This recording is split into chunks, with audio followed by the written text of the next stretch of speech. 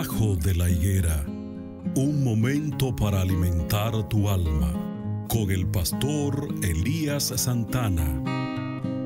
Dios te bendiga y te guarde. ¿Cuál será el sonido de la voz de Dios? ¿Cuál será el tono de la voz de Dios? Esto es algo que lo sabremos en el cielo. Mientras tanto, solo te diré que en la palabra de Dios hay muchas maneras en las cuales Dios ha hablado. A veces ha hablado como un trueno. A veces ha hablado con un silbo apacible. A veces ha hablado con ternura.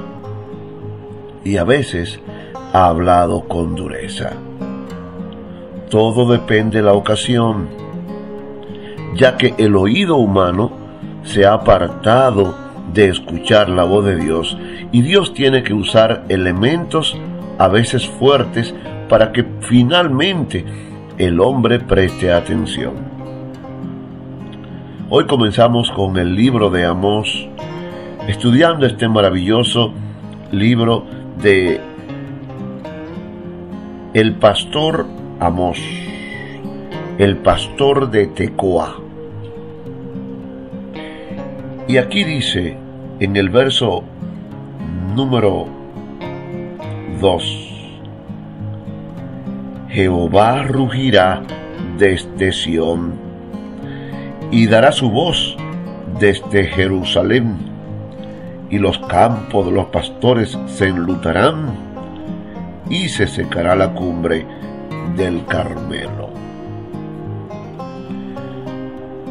Qué tremendo versículo tenemos aquí, mis amigos y hermanos, cuando dice que se secará la cumbre del Carmelo, significa que un monte que siempre está cubierto de hielo se derretirá.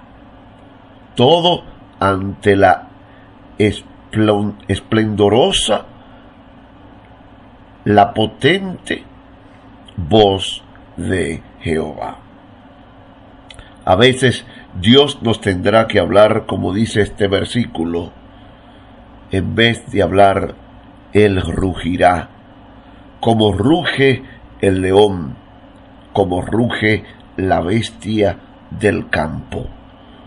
Porque el oído humano no percibe posiblemente un silbo apacible, ya que está concentrado con tanto sonido mundanal, necesita un ruido, necesita una voz más fuerte y en vez de Dios hablar, Él ruge.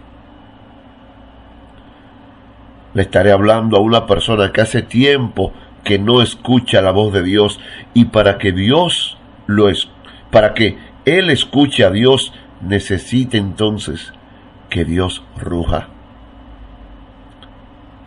¿Eres tú esa persona que necesita que Dios ruja para escuchar su voz? ¿O vas a escuchar el silbo apacible de su presencia?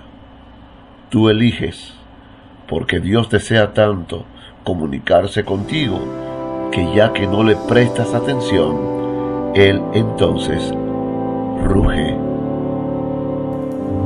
Que Dios nos ayude a escuchar su voz cada día.